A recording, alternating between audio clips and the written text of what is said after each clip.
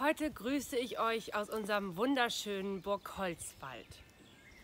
Heute, das ist der Sonntag, der zwischen zwei ganz bestimmten Feiertagen steht. Donnerstag haben wir der Himmelfahrt Jesu gedacht, wie Jesus von der Erde zum allerletzten Male leiblich aufgefahren ist und nicht mehr sichtbar für unsere Augen war. Ja, so haben die Jünger damals gedacht an Himmelfahrt. Und es war gar nicht so einfach, nachdem die Wiedersehensfreude da war, Jesus ein zweites Mal gehen zu lassen. Und so sitzen sie nun da, erzählt es die Bibel, in dem Haus, alle zusammen sollen sie bleiben, verbunden im Gebet, wartend. Wartend, dass das Fest kommt, was wir kommenden Sonntag feiern, Pfingsten, das große Fest des Heiligen Geistes, der uns weiter Jesu Gegenwart spüren lässt. Aber noch sind wir dazwischen, eine Art Zwischenzeit, eine Zeit des Wartens, die wir mit den Jüngern und Jüngerinnen verbringen. Warten.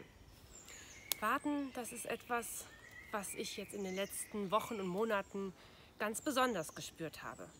Irgendwie wusste man nie, wie es weitergeht. Wir saßen da und haben gewartet, manchmal abgewartet, manchmal frustriert und manchmal gespannt, neugierig.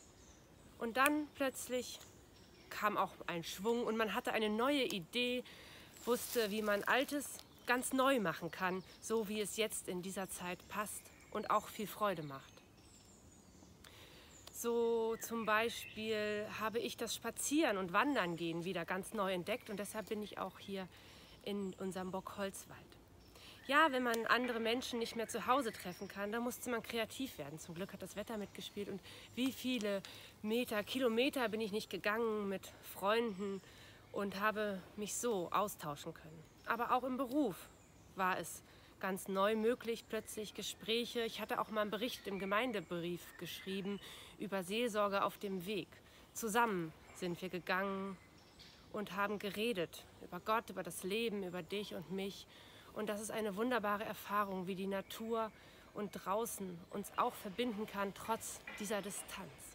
Und genau so ein Moment, wo es plötzlich anders und neu weitergegangen ist, ist für mich das, worauf wir jetzt warten an diesem Sonntag, Pfingsten. So heißt es nämlich beim Apostel Paulus über den Heiligen Geist. Der Geist hilft unserer Schwachheit auf. Das ist der Sinn von ihm unter vielen anderen. Der Geist hilft unserer Schwachheit auf. Denn es ist völlig normal, dass wir Menschen manchmal in diesem Wartezustand sind, dass wir da sitzen und vielleicht auch mal nichts hinkriegen.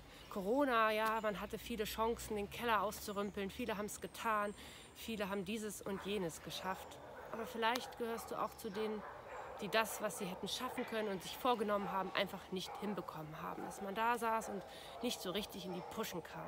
Und das ist auch in Ordnung, denn diese Zeiten gehören zum Leben.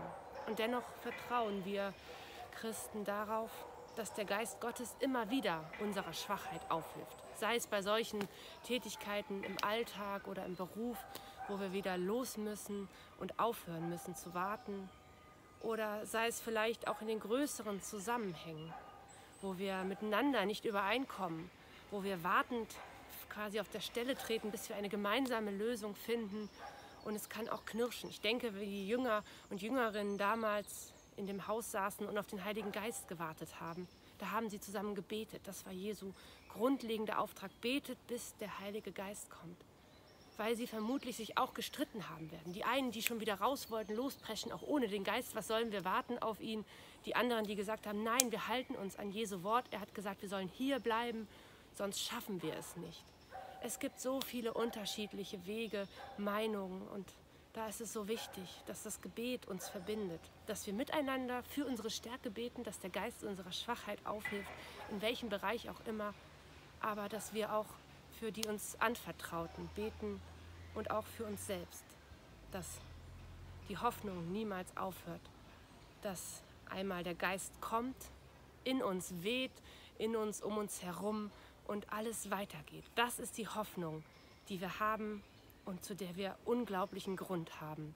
So sehen wir es im Leben immer wieder. Wir sehen es jetzt durch die Corona-Zeit, die langsam scheinbar erstmal zu Ende geht, wie viel Wind da auch weht und du wirst es auch in deinem Leben spüren. Du hast es vielleicht schon gespürt. Ich habe es oft gespürt, wie mir der Geist aufgeholfen hat, wenn es nicht mehr weiterzugehen schien. Und so werden wir es immer wieder spüren. Und wir können nur beten, dass der, der es jetzt braucht, dass die, die es bitter nötig hat, gerade jetzt den Geist Gottes spürt und nicht mehr bis Pfingsten warten muss. Und so möchte ich einen Moment der Stille halten mit dir zusammen und an die Menschen beten, an die Vereine oder auch die großen Strukturen, sei es die Politik, die Kirche, die Mächtigen, die diesen Geist nötig haben.